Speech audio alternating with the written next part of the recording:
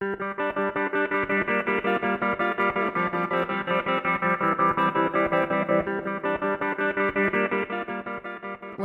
to ignani.com. This is the second video of Computer Fundamentals, Part 2. Level 1. Computer Internals.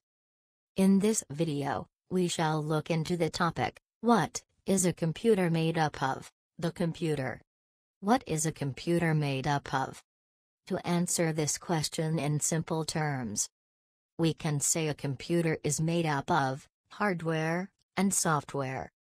Well, this answers our question completely. This will again give rise to a lot of other questions like what is hardware?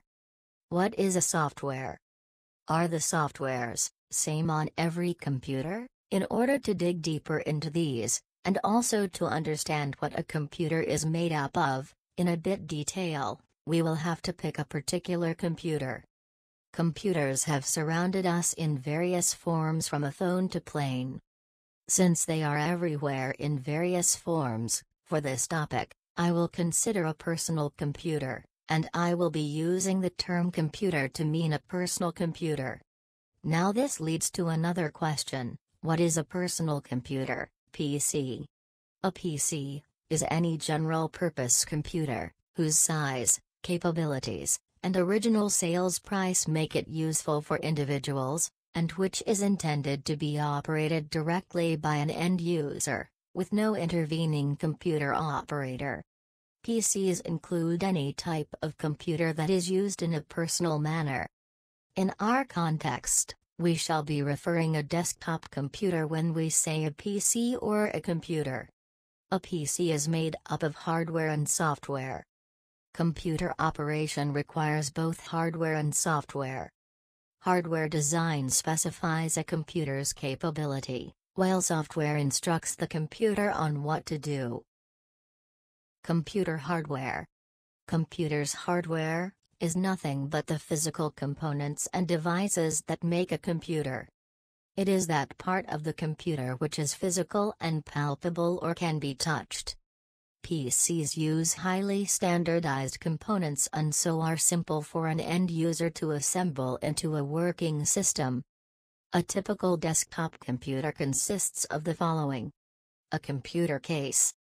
A computer case holds the following components, but it's not necessary that all these components are a must. Motherboard, CPU, RAM, ROM. BIOS. Hard disk. Optical disk drives. SMPS, which is a power supply unit. Input devices Though, all the devices mentioned below can be connected to a computer together and used, any one is sufficient. Keyboard. Mouse. Joystick. Webcam. Scanner. Microphone Output devices Any one of the following is sufficient, though there can be more than one depending on the requirement. Monitor Printer Speakers. Now that's a lot of things. Most of these are quite common these days, but all the components that I mentioned that are in the box, you would have heard of them but might not have seen it. Now that we have listed these, let us now dig deeper into each of these components. Computer case. A computer case, also known as a computer chassis, cabinet, box, tower, enclosure, housing, system unit or simply case, is the enclosure that contains most of the components of a computer, usually excluding the input, output devices. In this picture you can see a typical ATX computer case. A computer case is sometimes called incorrectly referred to metonymously as a CPU. Cases, are usually constructed from steel or aluminium, although other materials such as wood and plastic have been used. Cases can come in many different sizes or form factors. The size and shape of a computer case is usually determined by the form factor of the motherboard that it is designed to accommodate, since this is the largest and most central component of most computers. Consequently, personal computer form factors typically specify only the internal dimensions and layout of the case. Currently, the most popular form factor for desktop computers is ATX, Advanced Technology Extended, although Micro ATX and small form factors have become very popular for a variety of uses. A computer case is where most of the components of a computer are.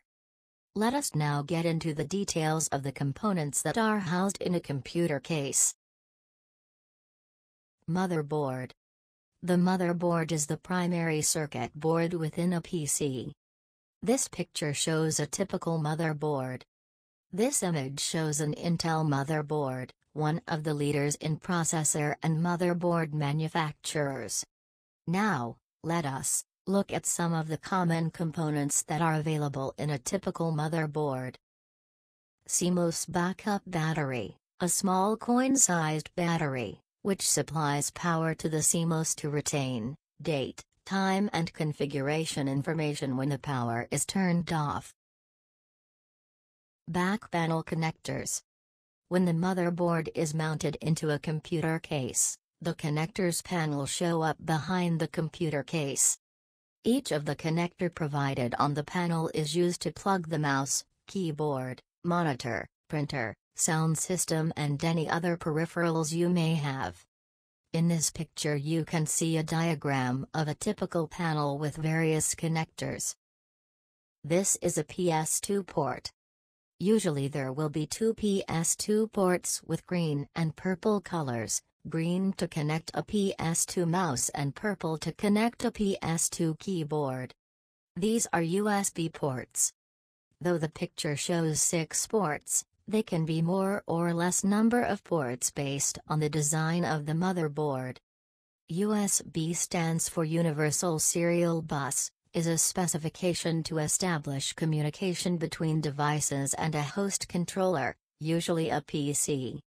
USB can connect computer peripherals such as mice, keyboards, digital cameras, printers, personal media players, flash drives, network adapters, external hard drives etc. This is a VGA port. VGA stands for Video Graphics Array. It is also commonly known as RGB connector. D sub 15, Mini sub D15, and Mini D15. As it consists of a total of 15 pins in three rows. It is found on many video cards, computer monitors, laptop computers and some high-definition television sets. A VGA connector is the most common port on any computer, to connect any standard monitor to the CPU. On laptops it can also be used to connect an external monitor. This is a DVI port. DVI stands for Digital Video Interface. DVI is a video interface standard, covering the transmission of video between a source device, such as a PC, and a display device. It is notable for being the first digital video transmission cable interface to achieve widespread acceptance in the PC industry, both in desktop and laptop PCs and monitors. The vast majority of desktop PCs and LCD monitors feature a DVI interface, and many other devices, such as projectors and consumer televisions, support DVI indirectly through HDMI, another video interface standard. This picture shows a DVI connector. This is a HDMI port. HDMI stands for High Definition Multimedia Interface, a compact audio-video interface for transmitting uncompressed digital data. HDMI connects digital audio video sources, such as set-top boxes, HD DVD players, Blu-ray disc players, AVC HD camcorders, PCs, video game consoles, etc. to compatible digital audio devices, computer monitors, video projectors, and digital televisions. This is RJ45 standard Ethernet port.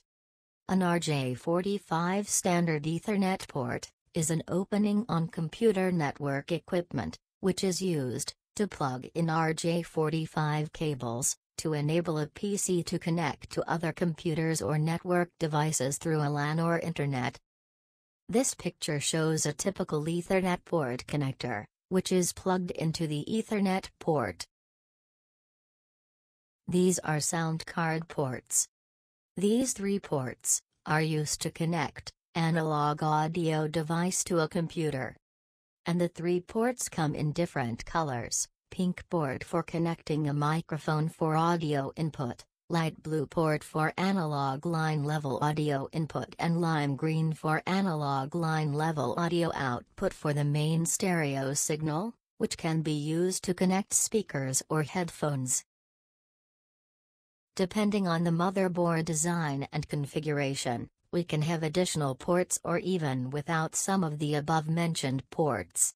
Now, this should give you some idea about the different types of cables that are connected to your computer case. In the next video of Computer Fundamentals, Part 2, Level 1, I will continue with the CPU socket and other connectors and components that are housed in a motherboard. You can find a lot of free video tutorials, training materials, how-to videos and much much more at our site www.ignani.com. Check out the forum topic related to this tutorial on the site for all your questions.